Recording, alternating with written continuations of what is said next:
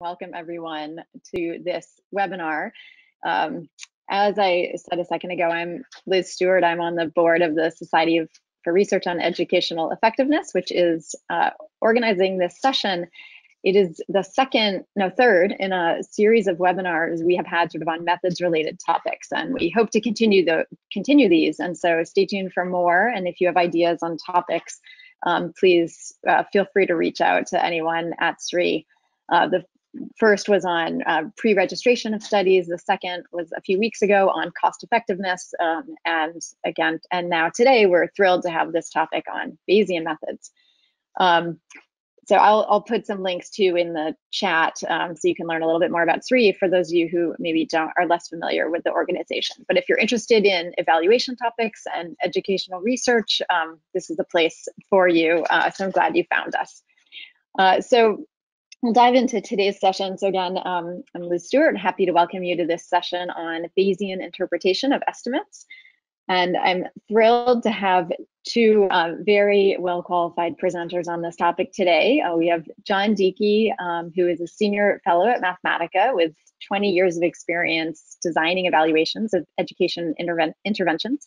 And Mariel Finucane is a senior statistician at Mathematica who has led Bayesian analyses on evaluations um, across multiple fields, including health and education.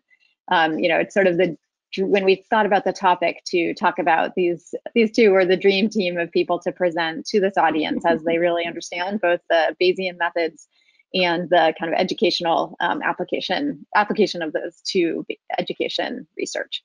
Um, just in terms of orientation, we um, are going to have presentation uh, for a little over an hour, um, maybe an hour and 10 minutes or so, and then around 1:15 uh, we'll stop and we'll have about 15 minutes for Q&A at the end. Um, you are welcome to use, um, or if you do have questions, please put them into the questions box. Um, actually, I see there's a couple there, I'll, and I'll, I'll be sort of moderating that as we go along, and I'll be kind of trying to triage those to save some of them for the question time at the end. Um, and uh, I'm looking forward to the resources that Mariel and John are going to be providing, and um, I hope that it does prompt some really good conversation and discussion at the end. So I really do encourage you to post questions in that box. So without further ado, I'm going to um, hand it over to Mariel, and uh, you'll see me again uh, in a little over an hour to moderate the question time. So thanks very much for joining us. Thank you, Liz. So I'm actually going to take over the title slide instead of Mariel, so her voice is not actually quite like this. Um, So happy Tuesday, everybody. Today we're going to describe a framework that we've assembled for interpreting findings from impactive evaluation. This framework is an alternative to null hypothesis significance testing, but it's also an alternative to what many people associate with the word Bayesian, which is often a subjective definition of probability and the incorporation of prior beliefs into impact estimates. I'd like to acknowledge that today's presentation draws on a methods brief that we wrote for the Office of Planning, Research and Evaluation, OPRE, as well as a training that we developed with support for the Office of Population Affairs. We are also currently working on a methods report for IES, which will go into greater depth, both conceptually and technically, than is possible in this webinar today. We thank OPRE, OPA, and IES for their interest and their support. Um, we have a lot to cover today, so as Liz mentioned, uh, we ask that you hold your questions until the end. And I turn it over to Mariel. Great. Thanks, Liz. Thanks, John. Welcome, everybody. Um, here is the plan for today. We're going to start out by telling you when we think this BASIE framework will be useful for you. Then uh, there's a rather long chunk of slides on why we think it's an important uh, framework to use. Then there's a section that's rather weedy on the theory of the framework, but that'll go pretty quick and we'll delve right into some very practical hands-on examples. We'll share this spreadsheet tool that will let you go ahead and use this framework right away in your own research, we hope. Um, and we'll conclude by acknowledging some caveats. All right, so first, when is this framework going to be a useful one? So imagine that you are conducting an impact evaluation, perhaps of an educational uh, evaluation. And when, when we say impact, we mean, for example, the difference in mean outcomes between the treatment and the control group. And you've done a lot of the work already. You've designed the evaluation, you've collected the data, you've run the regression, and you're holding in your hand this impact estimate, right? And you're wondering what to make of it, right? Is this an impact estimate that you should get excited about? Have you finally found an intervention that's going to move the needle on these important outcomes for folks? Um, but you've heard that p-values are a flawed tool in this context, that they are perhaps not the right tool to tell you whether or not to get excited about this impact. So that's one context when this is going to come in handy. Another context, perhaps you're not conducting the impact evaluation yourself, but rather you're reading the literature and wondering what to make of some findings in the literature. And again, you've heard that p-values are not the end all be all when it comes to this interpretation of an impact estimate. All right. Okay, so we're going to start off um, talking about why use BASIE. And it really is about rejecting statistical significance. That was the impetus for um, us pulling this framework together. And so, what's the basis for rejecting significance? Well, it started in 2016. Actually, it started a long time before that, but it really became on everybody's radar, I think, in 2016 when the American Statistical Association released a statement regarding the widespread misinterpretation of p values and statistical significance. Um, after that, we continued to have uh, movement in this area, and in uh, Thank you, Mary. In 2019, the American uh, Statistician released a special issue, uh, Statistical Inference in the 21st Century, A World Beyond P less than 0.05. And then most recently, we had a commentary in Nature with over 600 signatories. Um, scientists rise up against statistical significance. And I can say just from a personal perspective, um, having been using statistical significance and p-values for a pretty good number of years prior to the statement came out, I was initially a little bit skeptical. Um, I thought, ah, this is just a bunch of complaining academic statisticians making a big deal out of some persnickety little issue. Um, but over time and given the continued attention to it, I came to appreciate that this is really an important issue. Great. So why all of these very high profile rejections of statistical significance? What is the problem with significance testing? Well, there are a number of problems. The first is that statistical significance testing really does not play nicely with uncertainty, right? It leads to this overconfidence in our conclusions where we see a p-value less than 0.05 and we think, hooray, we finally found something that moves the needle. And conversely, we see a p-value just on the other side of that rather arbitrary border, and we fall into despair. So that's one problem. Another problem is this, uh, when we rely on p-values and statistical significance, we oftentimes ignore effect sizes, whereas in reality, effect sizes really matter. A very big effect with slightly more uncertainty around it might be more important than a teeny tiny effect with a statistically significant p-value. A third problem is that statistical significance creates this incentive system that really has contributed to the replication crisis, wherein even some very high profile findings have failed to, to replicate in follow up studies. And this is due to problems like publication bias, where only statistically significant results get published, also uh, problems like p hacking and data mining on the, on the analyst side. So these three are all really big problems, and I'll just conclude by saying that they really are particularly salient and important when it comes to small studies. All of these problems, their effects are really magnified when sample sizes are small. So before we uh, talk more specifically about the misinterpretations of p-values and statistical significance, we're going to just give a quick refresher on a definition that I suspect most of you are familiar with, which is just what is a p-value.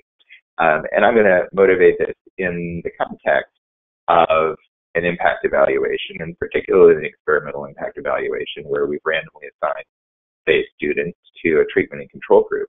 Um, we calculate the difference in mean outcomes between the treatment and control group in our study, and we get our impact estimate. And we have a particular value for our study and we're denoting that delta my estimate Um, and in the figure below, we're imagining that my estimate is equal to 0.2 standard deviation. The p-value is the probability that an estimated impact greater than my estimate, the one that I'm holding in my hand, occurs by chance when the true impact delta star is zero. And so the thought experiment here is that suppose you took a group of students and you randomly assign them to go stand in two different corners of the room and you measure their height, um, compare the difference between the two corners, and then you re-randomize over and over and over again. And we know that the two corners of the room don't change anybody's height, so the impact is zero. But as we record the difference in average height between the two groups, we'll notice it bouncing around. It'll sometimes be a little bigger than zero, sometimes a little less than zero, sometimes a lot bigger, sometimes a little bit, uh, a lot smaller. Um, and we end up with a histogram of this bouncing around impact estimate that looks like the one in the figure here. And so the p-value is just the proportion of those randomizations that would result in an estimate that is larger than our estimate when the true effect. So that is what a p-value is. It it seems a little convoluted in a way. It seems like it sounds like maybe it's pretty close to being something we'd be interested in, but hmm. not quite. So So I want to just briefly emphasize the last point that John made, which is that correct interpretation of a p-value is a very complicated and wordy process indeed. And attempts to interpret p-values correctly using more plain language and using pithier statements really fail. So here are, two very popular misinterpretations of a p-value that are in English, right? So a p-value is not the probability that the true impact is zero because you'll recall from John's previous slide that we condition on that red impact, true impact of zero when we compute a p-value. So it can't be that. It's also not the probability that the estimated impact is attributable to randomness uh, alone. Okay, so interpreting p-values correctly is hard. By extension, interpreting statistical significance correctly is hard as well. And on this slide, I want to compare two statements, one of which is a correct interpretation of statistical significance and the other which is a misinterpretation. So first, the correct interpretation. It is correct to say when the true effect is zero, there's a 5% chance that an impact estimate will be statistically significant. That's correct. It's a misinterpretation to say exactly the opposite. When the impact estimate is statistically significant, there's a 5% chance that the effect is zero. So I want to make two, two quick comments on this slide. The first is about which of these statements is actually of substantive interest to us, right? And I would argue that it's the latter statement that we wish we could make, that we would actually be interested in from a decision-making perspective. And the reason is that the second statement, which is not a correct interpretation of statistical significance, that second statement is the statement about the true effect, right? And that's that's what we care about as researchers. That's what we're going after. What we want to know about is the true effect. And what this slide shows is that statistical significance cannot give us that information. The second issue I want to quickly point out on this slide, and we'll go into more detail on this in a moment, is that this might seem like a semantic issue where we're just moving similar phrases around and moving commas, uh, but it's not uh, just a semantic issue, as we'll show in a moment. It is a real substantive, potentially large magnitude difference between these two. So I have to admit again that uh, when the ASA first came out with this statement, I did feel like, gosh, it seems kind of like a semantic issue. Um, it does kind of seem like they're just moving words around. And I, I wanted to figure out, like, how big an issue is this? So I decided I would come up with an example uh, to help myself understand this. And I concocted this little example um, that we're going to share with you. It's the probability that a significant impact is a false positive. And so the setup for this example is something that felt pretty familiar to me. I, I imagine that there was a federal grant fund uh, that was funding 100 locally developed programs. Um, and that, that's not so far off. NCER funds a lot of uh, grants programs as, as do other federal agencies. Um, the truth, which is unknown to the policymaker and also unknown to the researcher, is that 10 of those programs have a meaningful impact, whatever that means, and 90 programs have no effect. So that's the truth. Now an RCT is going to be conducted because this often happens with grant uh, programs. Um, there's an evaluation component, but they don't evaluate everything. They, they pick something. And so an RCT is conducted for one of these programs, and we use a pretty standard design parameters. We're going to use statistical hypothesis testing with alpha equal 0.05, two-tailed test, and power the study is big enough that it has an 80% chance of detecting a meaningful effect. So that's the setup to this uh, example. We've got, you know, focus on the numbers. There's 100 locally developed programs. 90 have a meaningful effect. I mean, sorry, 10 have a meaningful effect. 90 have none. Alpha 0.05 and power of 80%. Great. So keep those four numbers in your head as I flip to the next slide. We're going to take each of these 100 locally developed programs and represent them as a marble in this jar. And uh, these marbles are of four different colors because they fall into four different categories. So let's talk through those categories one by one, um, thinking back to the numbers on the last slide. So the first category is the category that we'd love to end up with. These are green marbles, which represent statistically significant findings and truly effective programs.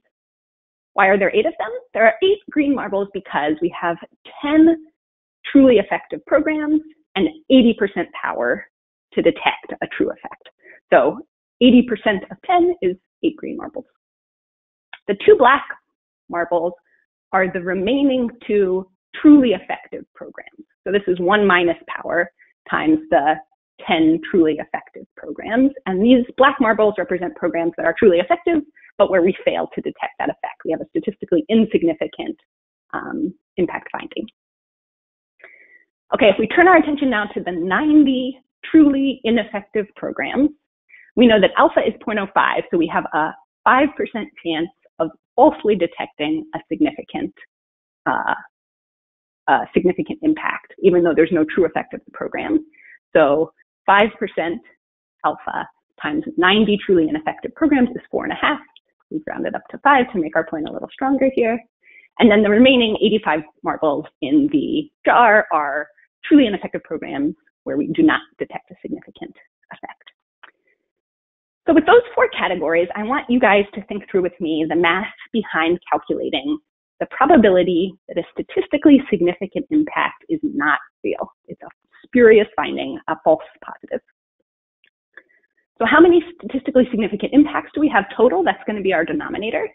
Well, we have statistically significant impact finding in the red marbles and in the green marbles. So I'm going to put 5 plus 8 equals 13 in the denominator here. And then out of those 13 statistically significant findings, what proportion of them are not real? How many of those are spurious findings? Well, those would be our red marbles. Those are the spurious false positives. 5 over 13 is 38%.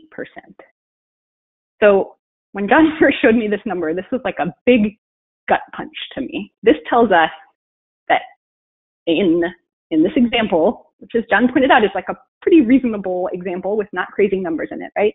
In this example, almost 40% of the time when we see a statistically significant impact finding, it's a false positive. And just to be super clear, 38% and 5% are not the same. So even though we've conducted this well-powered study and held our alpha all the way down to 0.05, we still end up in this scenario where a statistically significant finding really is not anything to get excited about because 38% of the time it's going to be a false positive. Okay, I'm going to go on about this a little bit longer because I think it's a very important motivation for the rest of the talk. So I want to just emphasize that when we see a small p-value, we must not let ourselves shout eureka and jump to the false conclusion that we finally have found an intervention uh, that moves the needle. And the reason, as we showed using simple math on the last slide, is that it is totally possible when we have a statistically significant effect that in truth, the underlying true effect of that program is zero. So 40% of these statistically significant impact findings were associated with true null results. So I'm going to say just just one more time, forgive me for repeating myself over and over again, but this is the crux of the motivation behind the rest of the presentation. A small p-value does not imply a high probability that the thing you're evaluating works. It's, it's just uh, p-values are not the tool for finding the probability that the intervention that you're evaluating actually works. So I want you to just think back now to the first slide for a moment about when we want to use the BASIE framework, right? I told you guys that you've conducted your evaluation and done all of the hard work of getting your impact estimate into your hands, and you see a small p-value and you're wondering whether you can get excited or not. And back on that first slide, I said that, you know, you'd heard that p-values aren't the right tool for deciding uh, whether to get excited or not. And this, I think, is really concrete uh, data about why p-values are a poor, poor tool for deciding when to get excited and when they're not. And in the rest of the talk, we're going to be presenting this nice alternative that will, in fact, answer that question, that really important question about which evaluation findings are worth uh, getting excited about and which are not. Okay, so the 38 was not equal to the 5. Again, what, what do we mean by that? So remember the statement that Mariel quoted earlier as a misinterpretation of statistical significance. That statement was, when the impact estimate is statistically significant, there's a 5% chance that your effect is zero, but oopsies, it's 38% in this example. So what went wrong? Why did that happen? Let's, let's, let's look into that. So first of all, we need to understand that an impact estimate is influenced by two things. It's influenced by that random mismatch between the treatment and the control group. It's also influenced by a genuine program effect. To calculate the probability that a program was genuinely effective, we need to know two things. We need to know how often random errors are large or small, we also need to know how often programs are effective or not. Statistical significance is based only on the first of those two things. In the example, we needed the prior information that I gave you on the setup slide at the very beginning that only 10% of the programs are effective in order to calculate that 38%. That is what we needed. That was the missing link to calculate that. Now, this setup, this setup of the example, it seemed intuitive to me when I developed the example. But if you think about it a little bit, there are some things about it that are unrealistic. And a, and a big thing that is unrealistic is that it assumes that interventions either have a meaningful effect or they have no effect at all. And it completely ignores this sort of murky middle where interventions could have an effect of 0.15 standard deviation, 0.05, you know, whatever.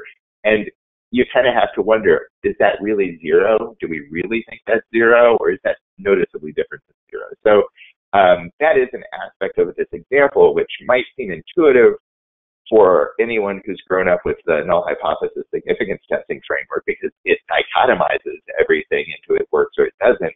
But in the real world, it's actually kind of an unrealistic aspect of the example. So I just wanted to uh, call attention to that. Great. All right, so on the next slide, I want to talk a little bit more about this idea of prior information, this question of how often programs are effective and how often they're not, a type of information that traditional null hypothesis significance testing ignores. Okay, and John referred to this as the missing link, this external evidence. And a, a big take home message for us is that an accurate understanding of the range of program effects, we're going to call this external information or prior information. This type of information is absolutely essential if we do want to calculate the probability that a program has a positive effect or a meaningful effect. So p-values are not going to be able to tell us this probability. If we do want to know this probability, which I think is crucial, we're going to need to bring in this external information. So let's look at a few examples real quick. Um, so in the jar of marbles, just 10% of programs had truly meaningful effects. Um, and we found that the probability of a significant impact being not real was 38%.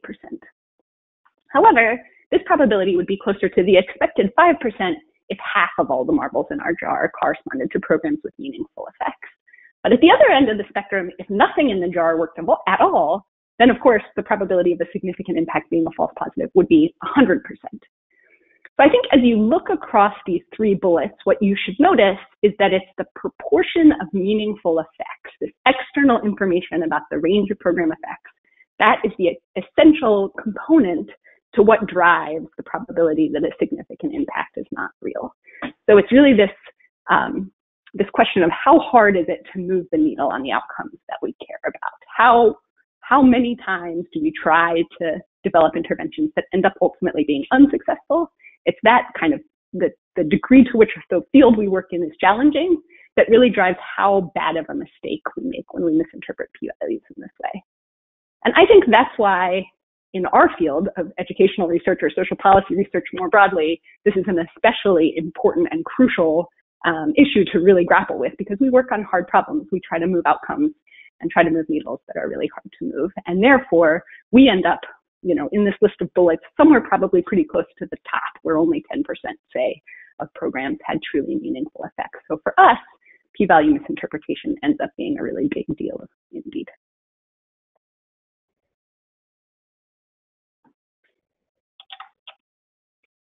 Okay, so we started off by talking about when, and then we went on for a while about why um, we really need an alternative to p-values. And now we want to go ahead and dive into that alternative, this BASIE framework. Uh, and in this section, we're first going to tell you a bit about what BASIE is, and then we're going to go one by one um, through these different components of the framework. So Bayesian interpretation of estimates, this is just a framework uh, that we developed for interpreting impact estimates from impact evaluations where objectivity is highly valued.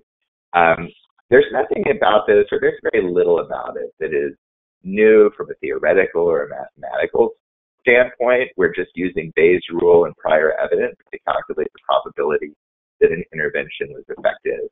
Um, and so you might wonder, well, why give it a name? And it's not entirely clear that it needs a name, but we gave it a name because we thought it was important to set it apart from the much larger and sometimes controversial world of Bayesian statistics. And in particular, as I mentioned at the outset, uh, this really strong association between the word Bayesian and the idea of subjectivity is something that we thought was particularly important to try and break that association for the field of uh, evaluation because I think objectivity is very important in this field. So just a little bit on uh, the background for this. Um, we developed BASI to help federal agencies move beyond statistical significance when interpreting findings. Um, and a big part of the origin story for this was uh, an OPRE method conference back in, gosh, maybe 2017 um, that Mariel Health organized. And uh, I remember um, the head of OPRE was saying that she certainly understood uh, the problems of statistical significance. She understood that there a misinterpretation, um, but she was very troubled by the idea of having subjective prior beliefs enter into the answer to an evaluation question. She said that in her mind, her job as an evaluator had always been to provide objective answers to research questions. It was the job of the policymakers to ask those questions. You know, does our program work? Um, and the idea that her beliefs, or or even more importantly, their beliefs, would be inserted into that impact estimate um, you know, in a way where maybe you got an impact estimate of 0.15 and you're like, oh, well, but I really believe the program works. So let's nudge that up to 0.2. You know, that is something that was very unappealing to her and I, and to us quite understandably. And so that was a big uh, reason for why we wanted to make this distinction and to kind of lay out like, well, how do you do this correctly, uh, objectively in the world of evaluation? Um, and so we've used BASIE now in several evaluations.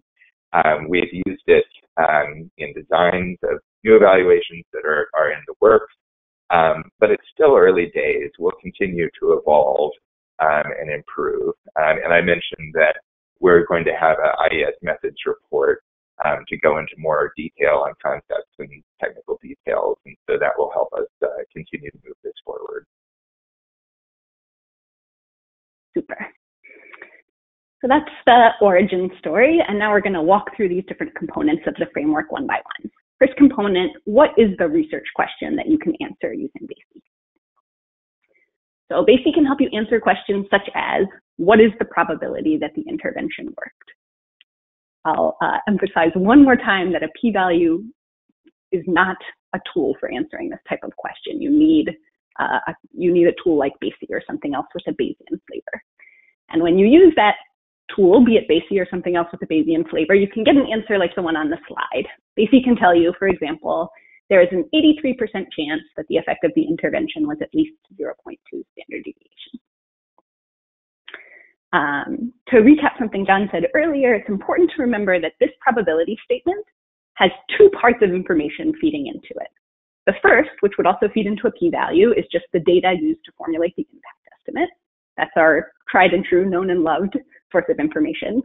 But what's new about BASIE is that we're going to add this second piece of information. We're going to bring in external evidence on the impacts of relevant prior information, uh, prior interventions. Sorry, and I popped the marbles back up here just to remind you guys. This is external evidence, such as, for example, 10% of prior relevant interventions have had meaningful effects. And importantly, to make these kind of probability statements, you need both of these pieces of information. And John's going to show you on the next slide how we're going to kind of stick them together to get the probability statement. All right, so this slide, we're going to walk through um, uh, kind of an intuitive explanation of Bayes' rule.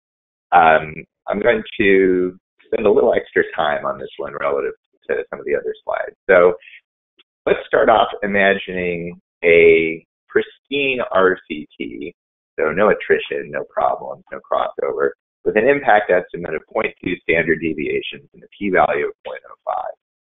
Now, as we're looking at that impact estimate, we know that it could have been influenced by two things. One is a genuine effect of the intervention. Let's call that signal. Um, the other one would be random mismatch between the treatment and control groups, and we could call that noise. So what's more likely to be driving this impact estimate, signal or noise? To figure that out, we need to know how common big signals are, and we need to know how common uh, big noise is. The top left histogram shows us the distribution of signals. In this case, it's the distribution of effects for lots of different interventions. The bottom left histogram shows us the distribution of noise. That is, it's the distribution of impact, impact estimates that would occur if the true effect of the intervention we're studying is zero, and if we repeated the random assignment a large number of times, recording an impact estimate each time. So that's the thing I went through before where I was talking about moving students to different corners in the room. So what do these two figures combined tell us? Well, they're telling us that it's kind of unusual for an intervention to have an effect of at least 0.2 standard deviation. Only 16% of interventions have an effect that large. It's much less likely, though, that we'd get an estimate of 0.2 from noise alone. That's 2.5%. Using Bayes' rule to combine information about these two distributions, we can figure out things like the probability that the true effect is positive, which in this case is 96%, or the probability that the true effect is greater than 0.2, which in this case is 33%. Now, there are a couple of things I'd like to draw your attention to. Uh, the first is to note that the bottom figure is basically showing a p-value. And the problem with trying to separate signal from noise using just a p-value is that the p-value is only telling us about noise. We can't say whether a finding is more likely due to signal than noise if we don't know how common signals are.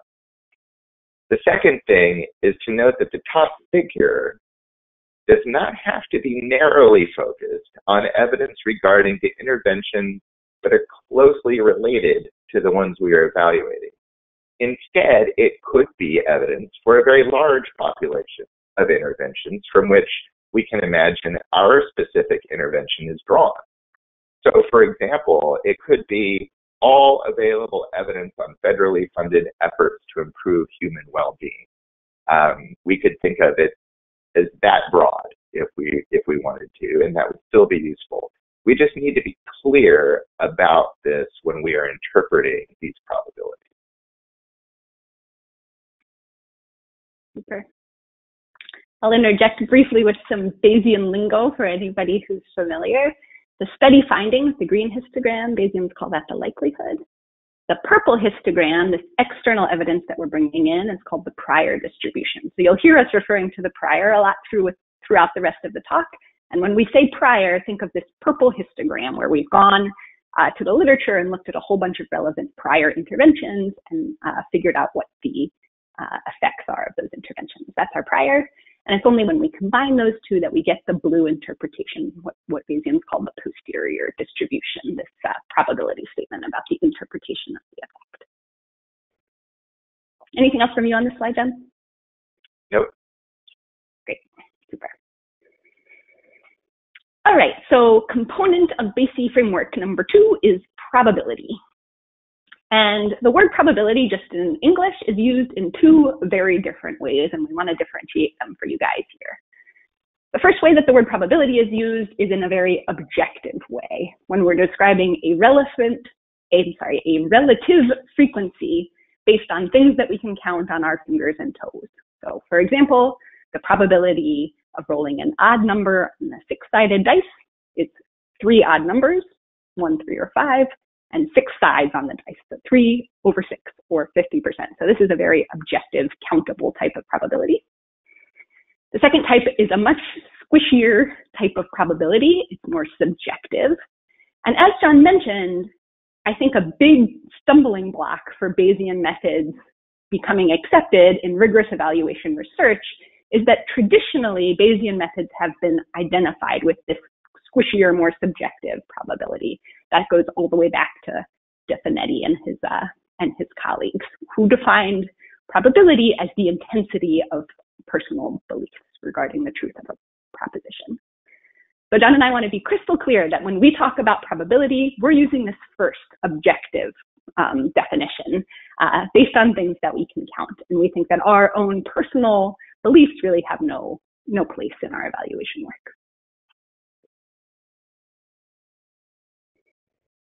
All right. So now we're going to talk a little bit about the prior, which is another source of controversy in Bayesian methods, but we hope to make it a little less controversial by taking the beliefs out of it. Um, so for BASIE, we provide some guidelines, suggestions, if you will, for picking prior evidence. Uh, the first one we've said a million times, but a million and one, we'll say it again, is it's prior evidence, not prior beliefs. Um, second, Oh, and, and I would say just in terms of evidence, uh, to make it even stronger, um, we would tend to like to look at vetted evidence, like good evidence. Um, and so one nice thing in the field of education is that we have the What Works Clearinghouse, which provides um, a database of evidence that has met evidence standards. So uh, everything that we've been talking about today sort of assumes that the only things that influence and impact estimate are randomness or a genuine effect, we haven't talked about uh, bias or selection bias or other sorts of bias. So we're assuming this is you know pretty good evidence. Um, so it's based on evidence, not prior belief. And when we set our beliefs aside and we focus on evidence, there can actually be some some benefits of that. I, I don't know if this is just me, but I often have a hard time figuring out what my beliefs are. If you were to ask me what my beliefs are today, it might be different than tomorrow um, research assistants at Mathematica know that what I believe is the right way to specify a regression today may not be what I tell them in a month. Um, so beliefs are kind of hard to nail down, but evidence, you can kind of depersonalize it. It doesn't have to be about me. It's just about the evidence. And, and this ends up being helpful, uh, maybe more than you might realize. Um, one thing that uh, I think is really maybe a little counterintuitive at first, but but I think it's also important to understand is that too broad is likely better than too narrow. Um, so it's better to cast a wide net uh, in in the prior evidence. You know, earlier I said all federal efforts to improve well-being. It would be better to go too broad than too narrow. And the reason for that is that deep, evidence, it's these things are still estimates. So they, they're not perfect. It's not truth. It's not like in the example where we knew for sure that 10% of things were, had meaning we have a small set of evidence, it could be noisy or unstable. Um, and then also it could create the impression of cherry picking. You know, what, what have you excluded um, if you have this tiny base of evidence? So um, at least as a sensitivity analysis, having a wide net uh, for the prior evidence is something that we would recommend. If you end up with a prior evidence base where the mean effect size is really far from zero, um, you might want to question that. You might want to go back and check again. Uh, our experience has been that, as Mariel's mentioned, moving the needle on outcomes in the social policy world is challenging. It's, it's hard. Um, it, it can be done. It is done sometimes, but it's usually small effects. Uh, big effects are rare. So if you end up with a prior evidence base centered far away from zero, that could be a red flag. Um, and then finally, uh, I don't know if it's a guideline or sort of a frame of mind that we recommend is that um, if we make the infeasible perfect the enemy of the feasible good, then the worst can win. So misinterpreting statistical significance can lead to a really big mistake. Um, picking the prior for helping us to interpret evidence can feel kind of uncomfortable because there are different choices that you could make, and those choices could nudge the answer around a little bit, and that could feel uncomfortable. Um, but it's better to use, in most cases, it's better to use a prior following these suggestions than it is to misinterpret statistical significance. So don't allow perfectionism to prevent you from making progress.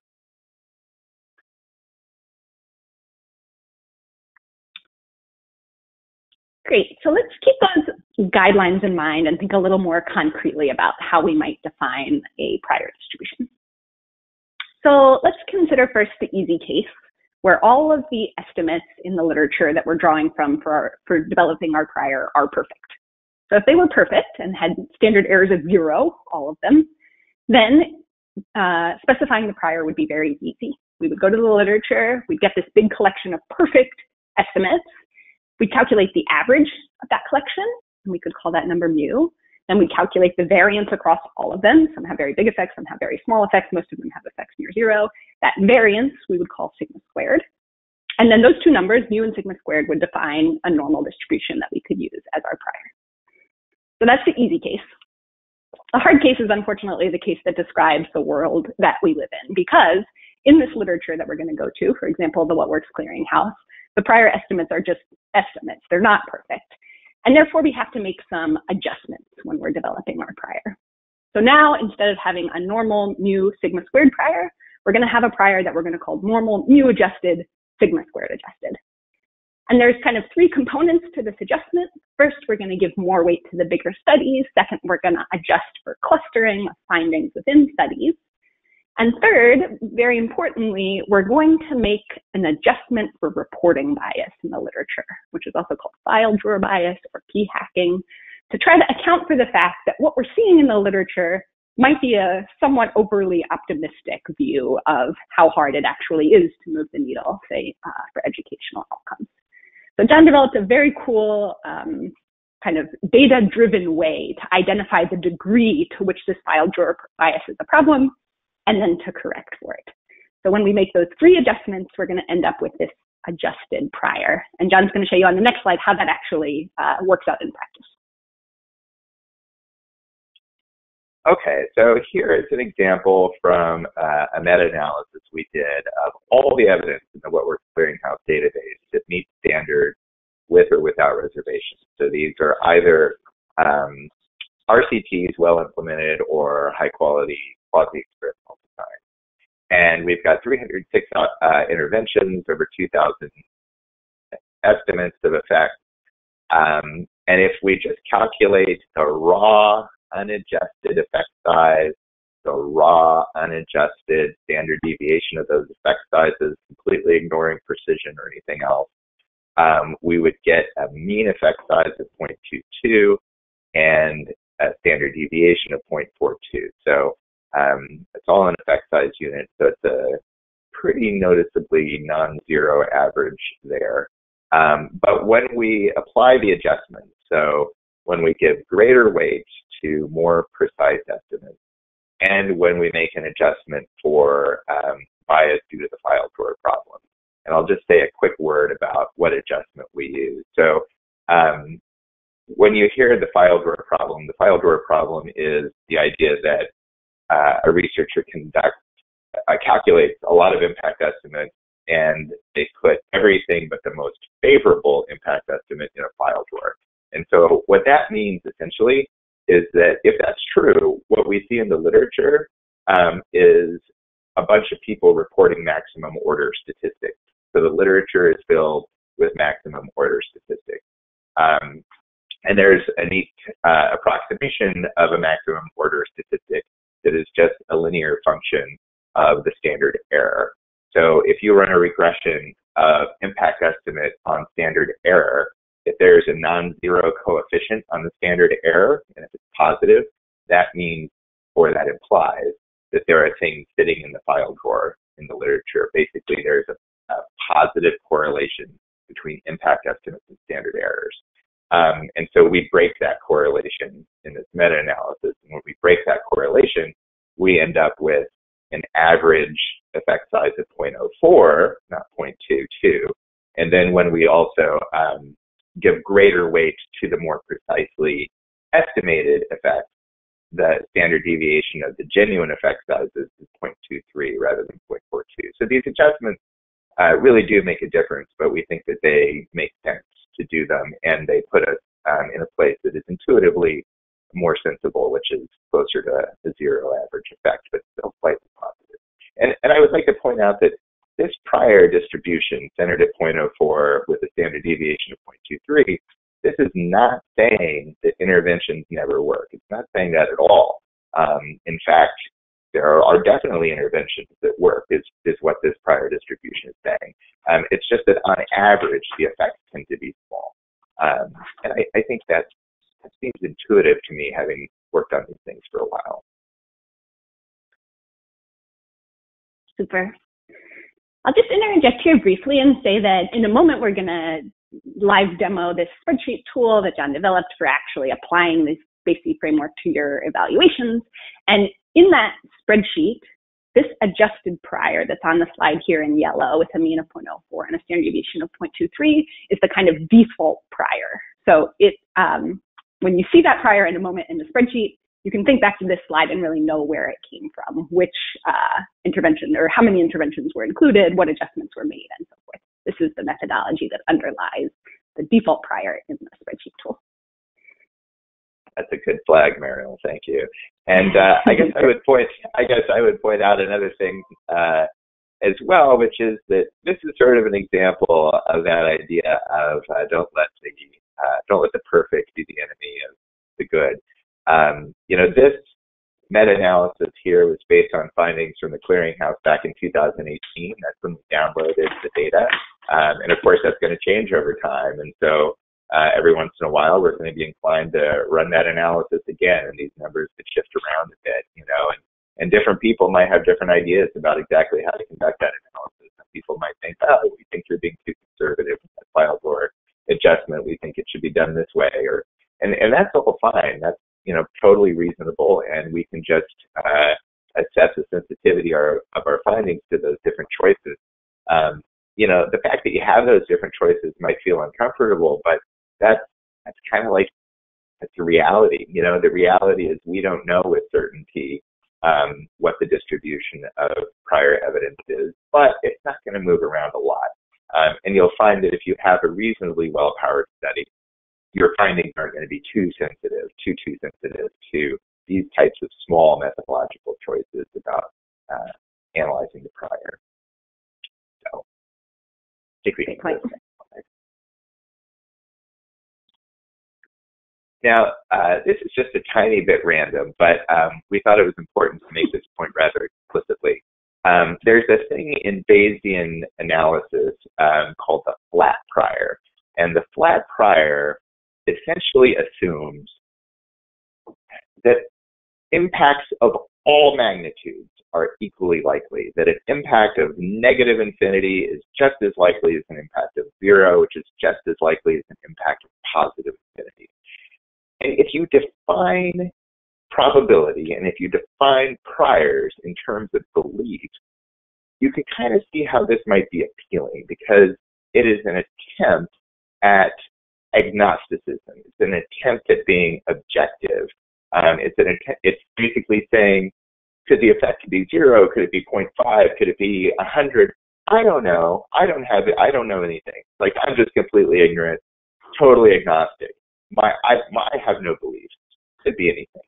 Um, when you define probability and priors as beliefs, it seems maybe tempting. It seems like this could be a good way to go. And in fact, people have often used this approach and have called it objective, um, an objective approach to Bayesian analysis. But if you reject belief and you focus on evidence as the basis of the prior, then you see that this is ridiculous. There's no evidence that impacts of positive infinity are just as likely as zero or just as likely as negative. It's actually kind of nuts. Um, and and the thing that's that's really kind of funny is if you use the flat prior um, in a simple model of the of the type that we've explicitly been using here, what ends up being the case is that your posterior probability is exactly the same as a p-value calculated from a one-sided test. Um, and so you can go through all of this mechan- machinations. You can, you know, go to the trouble of using this different approach to doing your analysis and computing these posterior probabilities, but you end up with exactly the same number. And so this whole point, this whole process would be pointless if you were to use the flat prior. Um, it would just be like a, uh, an employment program for statisticians. Um, no offense, Mariel. but um, so so we reject the flat prior because it's not based on evidence and it just regurgitates p-values. So we we wanted to say that very explicitly, even though it's just a tiny bit random. Super. Great. So as John was mentioning two slides back, no single prior in and of itself might seem entirely credible. It's going to be challenging to get all of your stakeholders on board and agree on precisely which set of studies and which set of findings from those studies should go into your prior. So as John was saying, we think sensitivity analysis is really important here. We think you should show how your posterior probabilities, how your you know, final conclusions and interpretations, how sensitive they are to the selection of prior evidence. And one really nice thing is that you'll find that especially with well-powered studies, we really don't see much sensitivity, uh, you know, when we compare among reasonable, well-intentioned, uh, well-intentioned priors. The spreadsheet tool that I keep pointing forwards to is going to bake this in for you. So it's going to just by default give you uh, different posterior probability statements, different interpretations for different priors that you might have uh, have considered. So this will be nice and easy from a practical perspective. All right, the next component of the framework is the impact estimate that we're going to report, uh, say in, in the abstract or in the in the manuscript that you're working on. And there are two different estimates that you could consider. The first is the traditional estimate. This could be, for example, a difference in means between treatment and control, and that's based only on study uh, data that you've collected and analyzed. Another possibility would, would be to report a Bayesian, or what's sometimes called a shrunken estimate. And this Bayesian estimate is a weighted average between that first guy, the traditional estimate, and the mean of the prior evidence base that you're using. John and I think that both of these are really important um, for different reasons, so that you should really include both in your report, but or in your manuscript. But when you're choosing which to highlight in your abstract, say, which one to really emphasize, that's going to depend on how relevant the prior evidence that you've uh, collected is for you.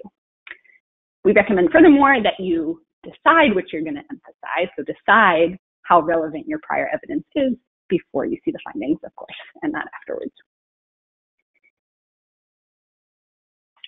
So while we uh, definitely recommend reporting both of these types of impact estimates, when it comes to interpretation of those impact estimates, uh, we think that at least for the purposes of the Bayesian framework, um, posterior probabilities are the only way to go.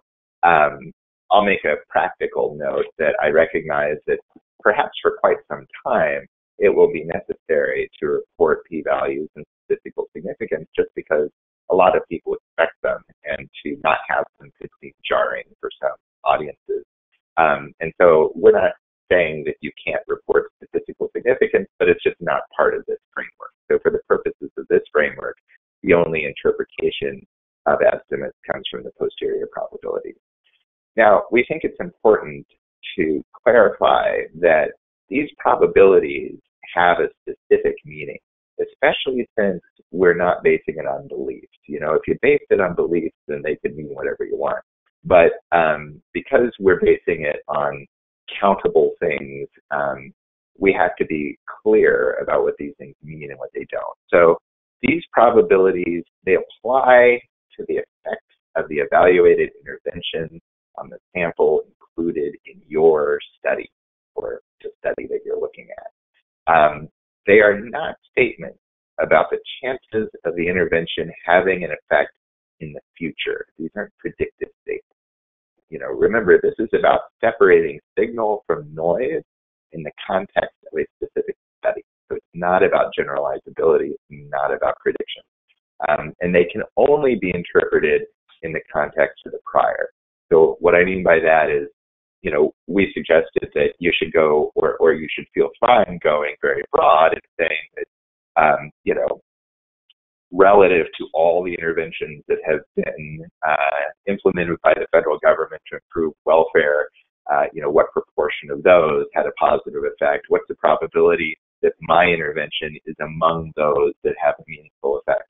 When you say among those, you just need to be clear what you're talking about. Are you talking about all interventions funded by the federal government? Are you talking about all interventions in the What Works Clearinghouse database? Are you talking about all interventions in the clearinghouse database that affected reading scores. You know, so you just need to be clear what this population is that you're referring to.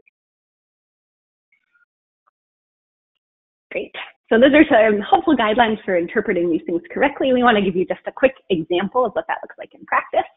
So here is a nice correct interpretation of a Bayesian posterior probability statement. We can say, for example, we estimate a 75% probability that our intervention increased reading test scores by at least 0.15 standard deviations, given our estimate and prior evidence on the impacts of educational interventions. So this is one sentence, but it has a lot going on in it. And in particular, it adheres, it adheres to the guidelines that John just laid out.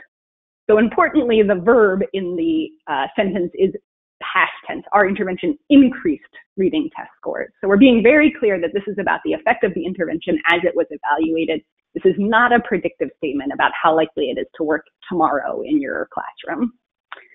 Um, another nice thing about this statement is that it really kind of bakes into the statement of the posterior probability all of the pieces of information that are feeding that probability.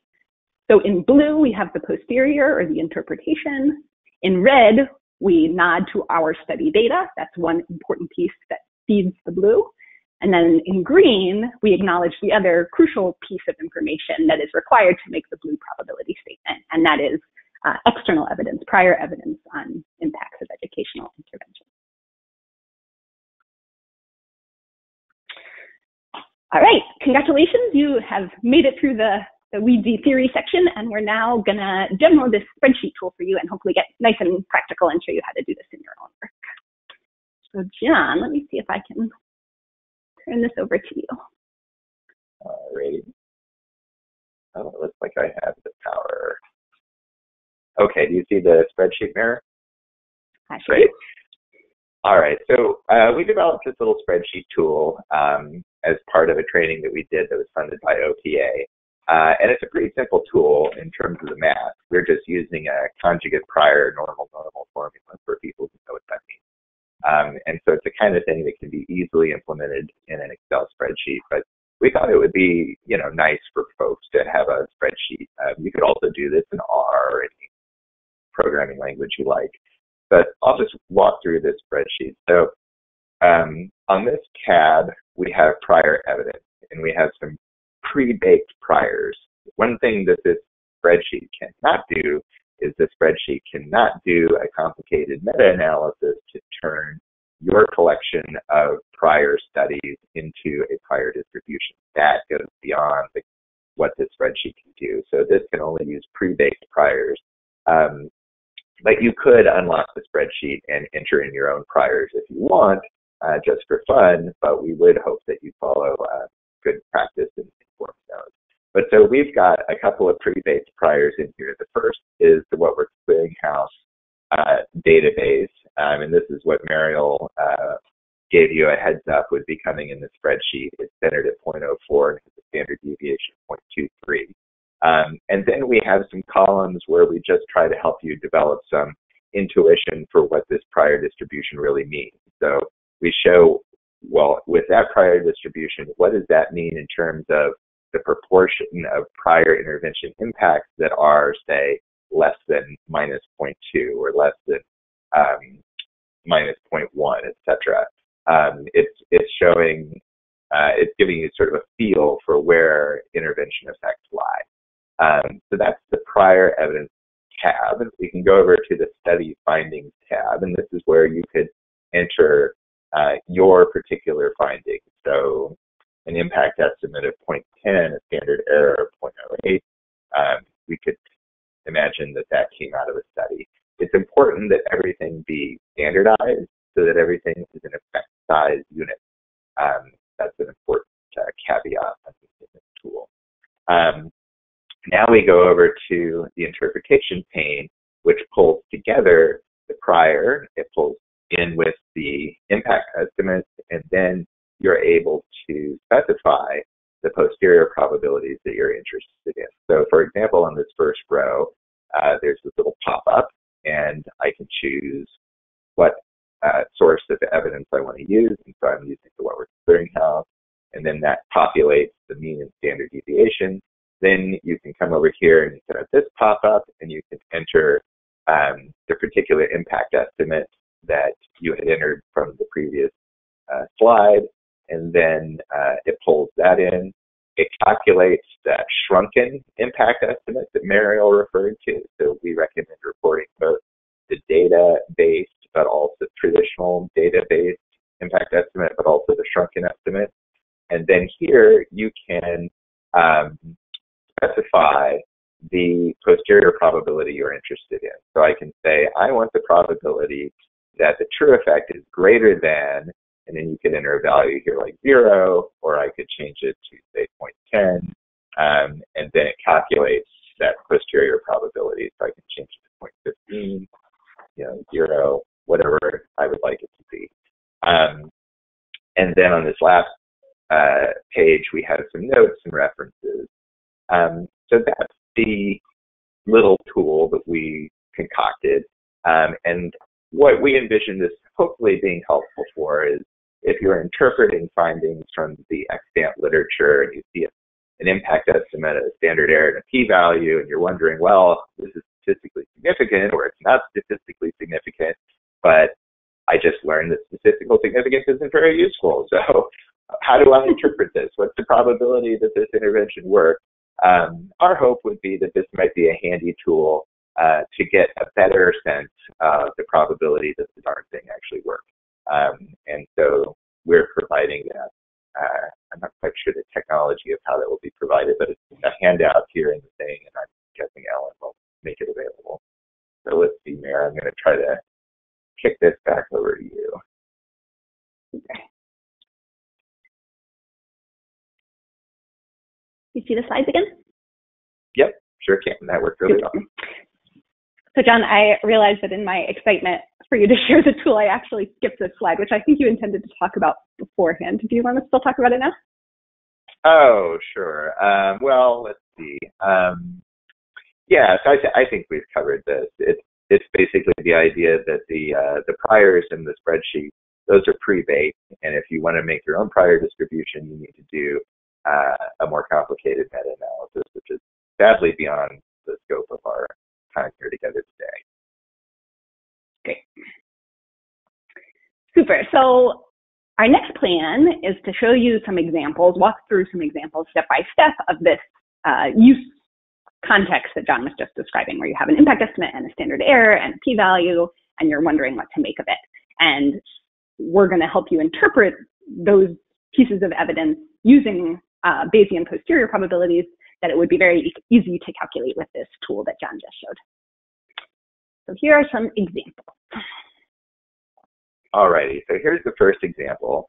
And we're giving these examples from the perspective of somebody who's trying to interpret uh, evidence um, in order to potentially inform a decision. So in this case, uh, we're looking at study findings for intervention A and study findings for intervention B. This is coming from different studies. In this case, both the impact estimates are positive and both have a p-value of 0.05. So they're statistically significant, but is there any difference between these two things? They're statistically significant, so according to the old way of thinking about things, eureka, they both work. Um, but we want to implement the intervention that was most likely to have had a positive effect. Um, in other words, the one least likely to do harm. Um, if we were to plug this information into that spreadsheet tool, which we have done, uh, which intervention should we implement? And it turns out that even though they're both statistically significant, there's actually a difference in the probability that the true effect is greater than zero.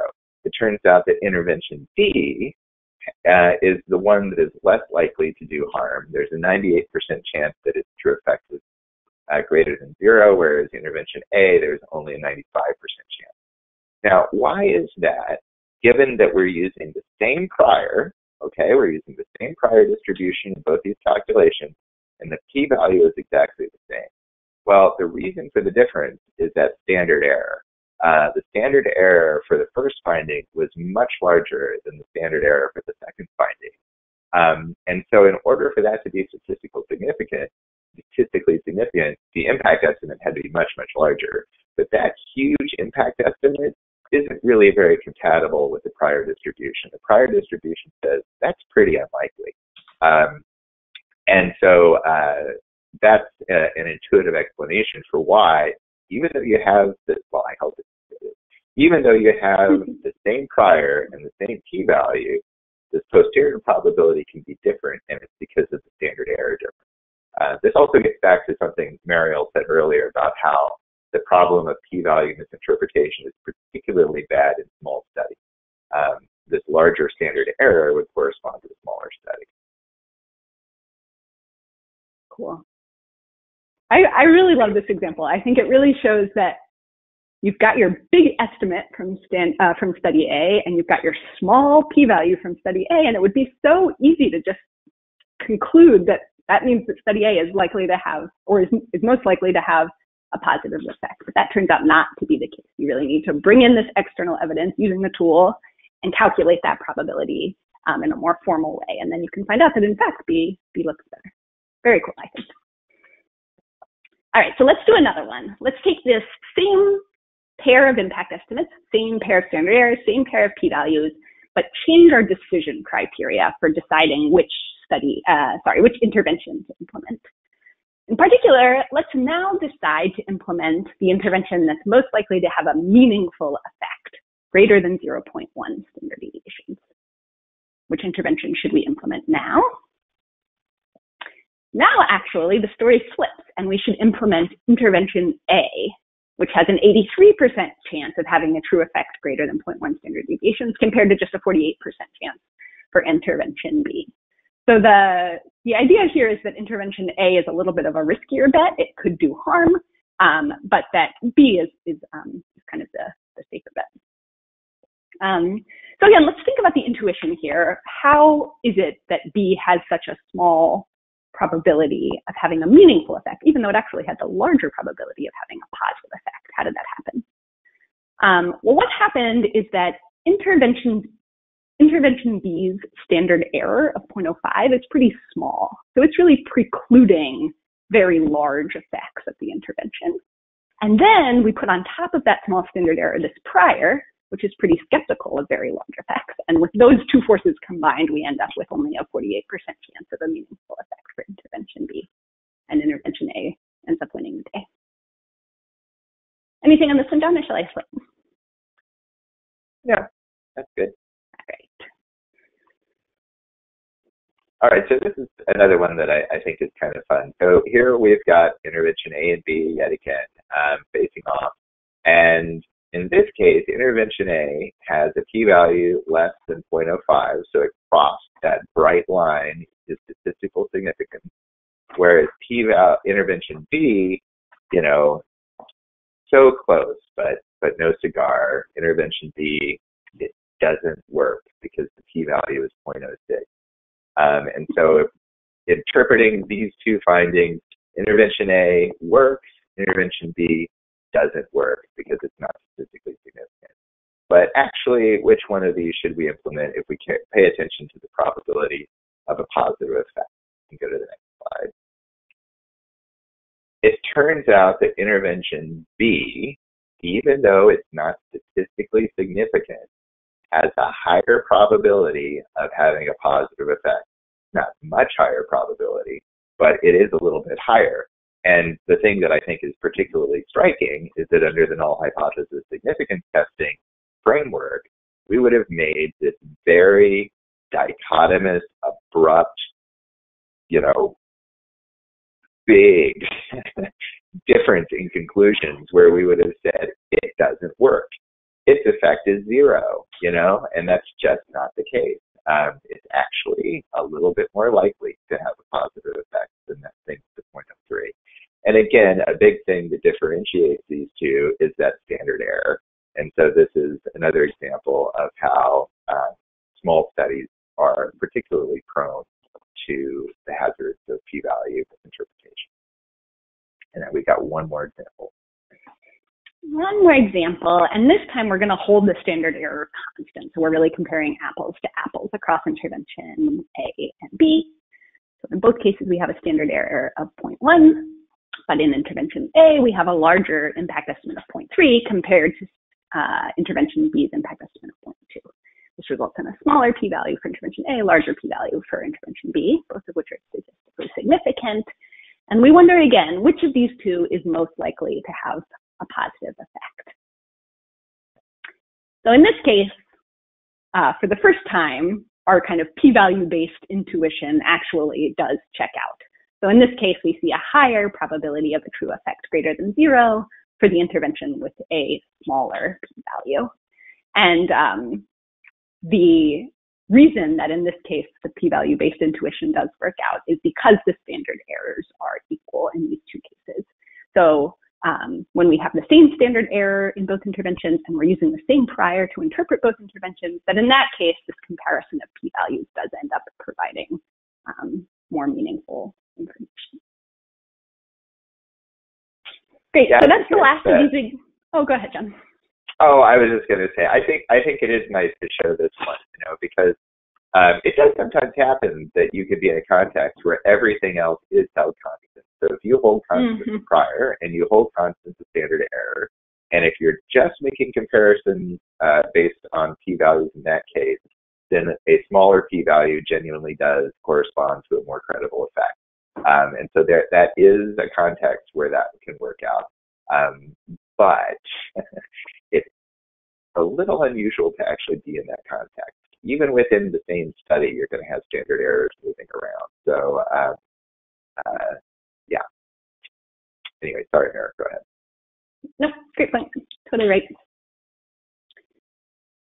So I hope these were useful uh, examples for generating some intuition behind how these probabilities really can meaningfully differ from the conclusions you would uh, reach based on p-values. And I'll just emphasize one more time that calculating them is really easy with the tool. So you have, you input into the tool information from these first three columns and the tool will kick out the fourth column for you. All right, last section of the outline is to talk about some problems that BASIE cannot fix. All right. So um, BASIE is nice for helping us to separate signal from noise in the context of well-conducted evaluation. But it is not a magic bullet that solves all problems. So, for example, if it is not a well-conducted evaluation, if it's something that has, um, you know, a, a, selection bias problem, it's not an RCT, uh, then BASIE can't help you with that. Um, uh, it also doesn't magically solve data problems. If you have an RCT with a high attrition rate, or if you have measurement error in your variables, or if you have uh, you know construct validity problems with your measures, BASIE's not solve that. um, estimation. Um, you know, if you're doing an RDD analysis and you have problems with functional form uh, misspecification, BASIE's not going to solve that. Um, if you forget to cluster your standard errors, BASIE depends on your standard error being right. So if, if it's not right, then BASIE's going to mess up. Um, multiple comparisons, you know, in a in a more complicated Bayesian analysis with like a hierarchical model, um, that type of analysis can help with multiple comparisons. It's a little tricky, but it can. Um, if you're using the BASIE spreadsheet tool, then it's not going to help with multiple comparisons, or at least not much. It it can help in a subtle way, but but it it it doesn't know how many things you're looking at, and it's not making any adjustments for it. So that's important to be aware of. Um, we also cannot uh, protect against bad incentives in research culture. Um, you know, there's a bad incentive associated with publication bias and statistical significance but it's entirely possible that there could be new publication bias. If editors decide to use a cutoff on a posterior probability as the basis for publication as opposed to a cutoff on a p-value, then that can create bad incentives as well. So um, we can't, uh, can't uh, solve problems of humans. Um, and then finally, we made this point before, but it's really worth emphasizing, which is that the probabilities we're describing here are not predictions about the future. And it's easy to get confused about that because probabilities are often presented in the context of making predictions about the future. There's a 30% chance it's going to rain tomorrow, for example. Um, but these are, are probabilities focused on the task of separating signal from noise in the context of past studies. So it's the probability that something happened past tense, not the probability that something will happen in the future. Um, and so that's important to understand. Now, having said that, it's not impossible to make predictive probabilities, but it's a more complicated modeling uh, exercise that also requires more data and beyond the scope of our conversation today.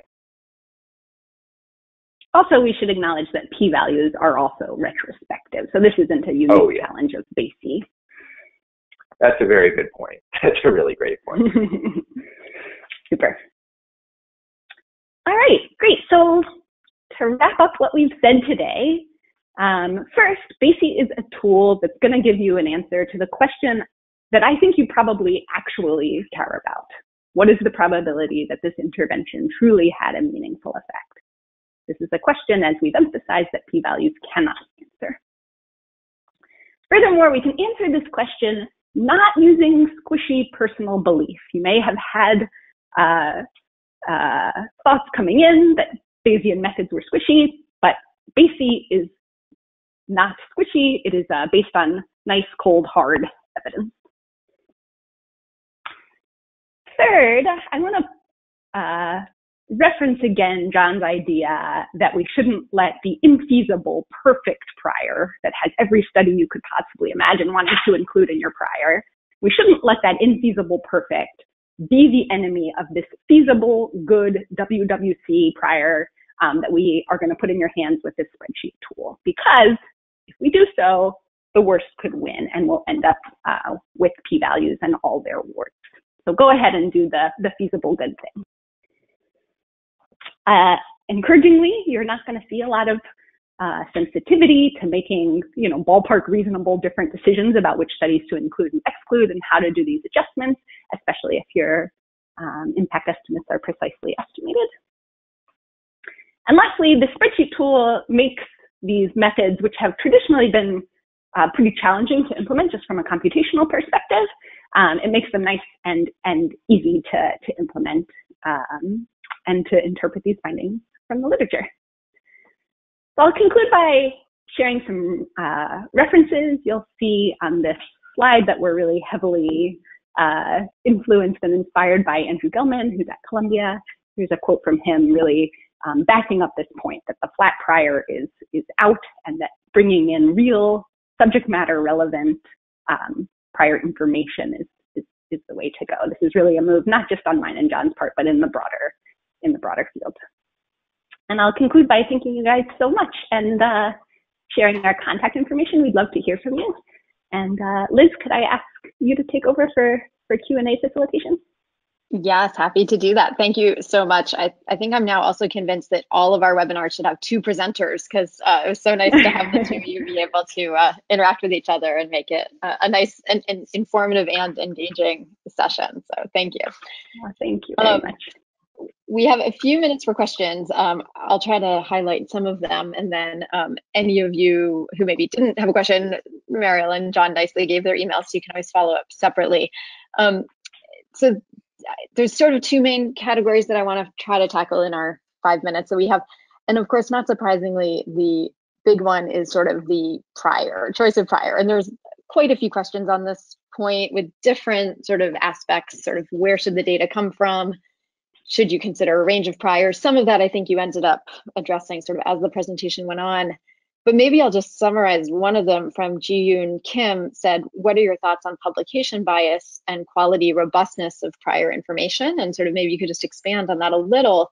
And then sort of relatedly was um, sort of Betsy Wolf, I'll kind of pull out one of hers, which was sort of how much you can be concerned about other factors like the type of outcome or maybe the type of intervention um, affecting mm-hmm. prior. So if you could just muse a little bit more on those sorts of um, topics, that would be great.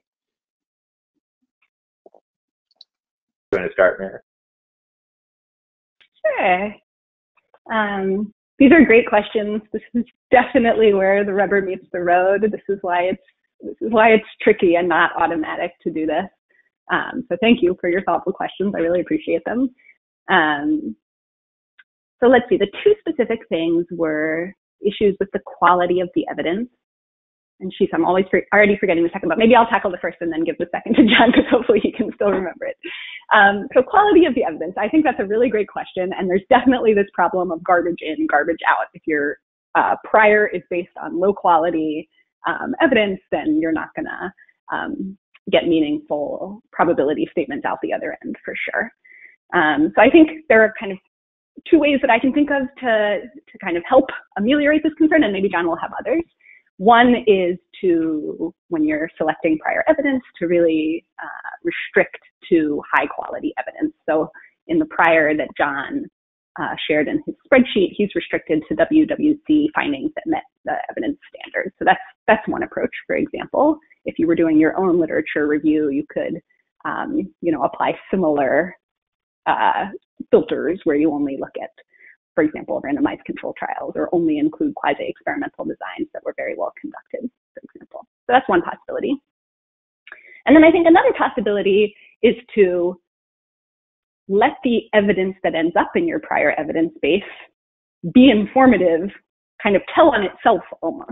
As John was saying, when we observe in our evidence base a relationship between impact estimates and standard errors, that is evidence of the file drawer bias right there uh, in front of us. So some of these problems are almost self-correcting in that they, they, they tell on themselves and then you can use that association to kind of, uh, to make the correction. John, anything to add there?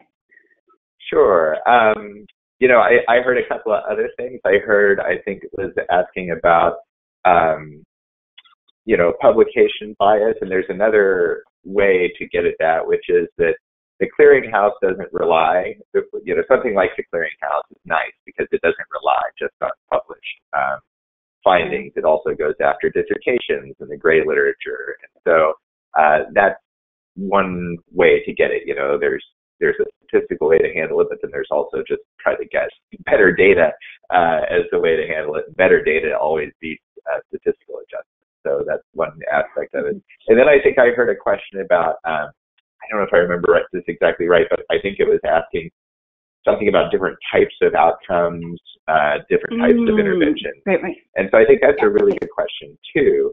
And this gets at a concept called exchangeability, where if you have evidence that there are subsets of intervention that have different effects, then it is productive to take that into account in forming your prior distribution. So if you look across the findings in the clearinghouse and you find that interventions tend to have larger effects on reading test scores than on math test scores, and if you're interested in impacts on reading test scores, then it absolutely makes sense to interpret it relative to the population of interventions trying to affect reading test scores. Um, you can interpret it more broadly than that as well. You just need to be clear about the interpretation. Um, now, uh, a question that I think would be a follow up to that is like, what if my study is looking at an outcome that is an educational outcome, but it's not in the clearinghouse? Like, what if I'm looking at impacts on music theory? You know, I'm looking at the impacts on test scores of music theory, and there aren't a lot of music theory um, interventions in the clearinghouse. What do I do? Um, and that's a great question, and uh, there, and I'll give you a couple. I'll give you a, uh, I'll attack it from multiple angles. So one angle we're going to attack it from is to say that that's one reason why we recommend reporting both the traditional impact estimate that's based only on your study data and then also the shrunken impact estimate because sometimes the prior evidence that's available doesn't really feel as relevant to your study. And so it would seem counterintuitive and awkward to say that the impact estimate of this intervention trying to improve knowledge of music theory is like a weighted average of the only data on music theory plus all this other stuff. It doesn't have anything to do with music theory. So it might seem more intuitive uh, to focus on the traditional impact estimate in that case. But when we go to try to understand, well, what's the probability that you really did move the needle on music theory? the best we can do is to say, well, how often do you move the needle on any educational outcome? I mean, if we knew the music theory thing, then great, that would be a great thing to do. But rather than just throwing up our hands and saying, oh, I don't know, um, I can't, I can't answer this question about what's the probability that this thing had a positive effect, or doing the really horrible thing of saying that minus infinity and positive infinity and zero are all equally likely, which we know is ridiculous. Um, going toward this broader evidence base that incorporates all these other outcomes, classes of intervention, is still a useful way to try to get a sense for the probability that this thing moves the needle. Um, so that's uh, those are the questions I heard. Did we miss anything, Liz? No, that was perfect. Um, it's 1.30, but maybe I will quickly, if you give, if like a 20 second response to this one. So someone had, uh, Neha Nanda had asked two things about quasi experimental studies. And actually Mariel already answered one of them, which is that you could use priors based on quasi non-experimental designs, though you might want to be careful about their quality, as you said. But then the question that maybe again, I'll just like 30 second response, um, can BASIE be used on quasi experimental designs? Oh, sure. I mean, absolutely. Um, it absolutely can. It's just, you know, you're making the same assumptions about the validity of the designs that you would be making when you interpret the findings using p-values or statistical significance. So you're going to say conditional on the assumption that the QED worked, um, that we have equivalence with respect to unobservables. Um, this is the interpretation. So it's it's always going to be interpretation conditional on assumptions and conditional on your model uh, Mariel, do you have uh, any extra thoughts on that? Maybe just in the remaining two seconds, I'll point forward to some future work from me and John that's actually focused on developing a prior that incorporates the possibility of bias due to a quasi-experimental design. We're really excited about that. That does sound exciting, right up my alley for sure. So great. Maybe we'll have you come back in six months or whatever and uh, tell us more about that.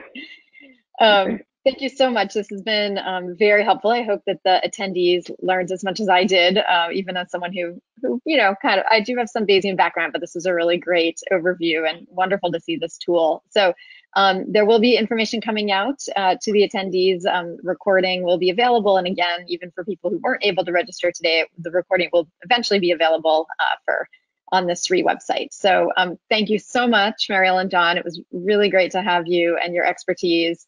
Um, and just uh, come join us. We'll um, stay tuned for more methods webinars uh, and maybe follow-ups on on Bayesian methods in particular and BASIE. So um, thank you all so much and uh, have a great rest of the day. Thank you, Liz. I hope to see you in person again someday. I hope so too. Bye, everybody. Thanks so much.